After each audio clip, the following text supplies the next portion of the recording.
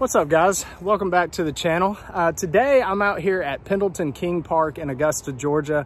This is a course I like to come to when I need a quick round. Uh, very short course, a lot of par threes. There might be a few par fours sprinkled in here, but overall, a really nice course to come out here and practice in the woods. They got a few open shots as well, but again, a beautiful day out here in Augusta. So I thought I would uh, get out here and enjoy a round at Pendleton King. Guys, it's late November and it's 71 degrees out here. So I'm in shorts and a long sleeve shirt. Uh, and honestly, I'm burning up right now. So uh, you never know what kind of weather you're gonna have in the South, but really can't pass this up. It's really nice out here. So I hope you enjoy the video and uh, yeah, we'll see how well we can shoot today.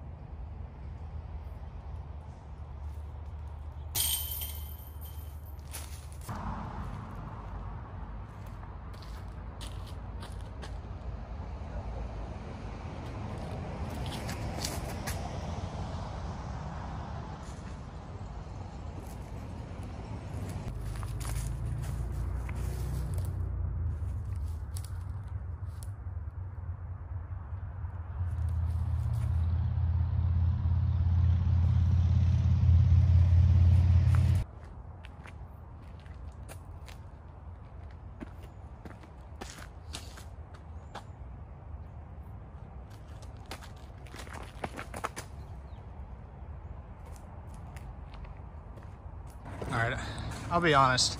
I thought I shanked this one, but ended up being just right.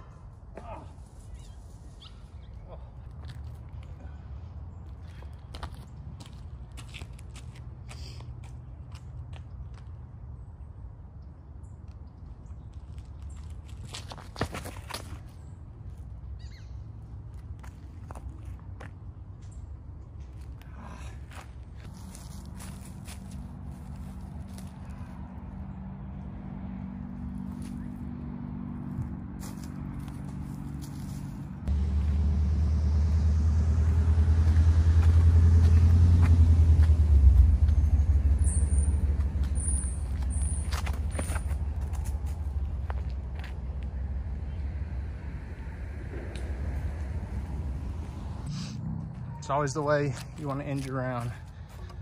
Got about 15 feet.